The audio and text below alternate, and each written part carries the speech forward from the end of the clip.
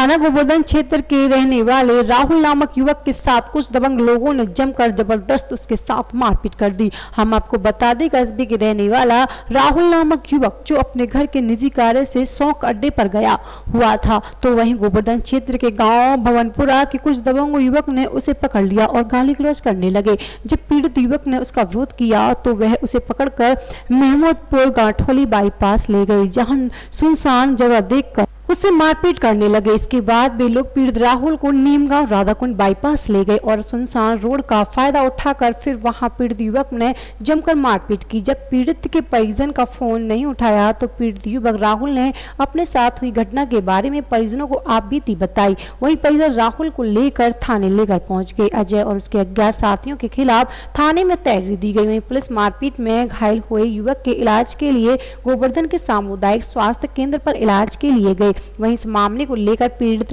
राहुल शर्मा ने बताया कि यह लोग काफ़ी दबंग टाइप के हैं। इस तरह की घटना आए दिन करते रहते हैं। अब देखना ये होगा क्या पुलिस ऐसे दबंगों के ऊपर कोई कार्रवाई कर पाएगी या फिर यह मामला ठंडा बिस्तर पर डाल दिया जाएगा?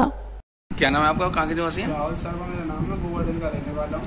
आज जो वारदात हुई है, किस बात को लेकर आपके साथ ये बात सौ गड्ढे पे गया था, उस काम से मैं वहाँ से आ रहा था तो वो आगे आगे बोले, मैं बाइक से आ रहा था कि ज़्यादा हीरो बनता है तो अभी हीरो बन के निकाल देगी तेरी। और इसी बात से मुझे, मैंने उनसे कुछ बोल दिया, वो मुझे मारने लगे मारने लगे तो बाइक को ज़बरदस्ती बैठ के मुझे वहाँ से अपने साथ ले गए वो।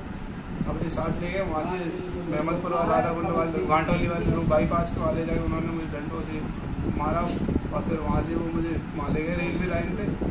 बाबूलाल से आगे जो है फिर वहाँ मेरी मम्मी का फ़ोन आ गया था उस फ़ोन पे मैंने उन्हें बता दिया था मैं यहाँ पर तो फिर वो वहाँ से मुझे राधा कुंड होते हुए बाईपास पे ले गए वहाँ खेत में ले गए खेत में ले जाके फिर उन्होंने मुझे मारा था वहाँ।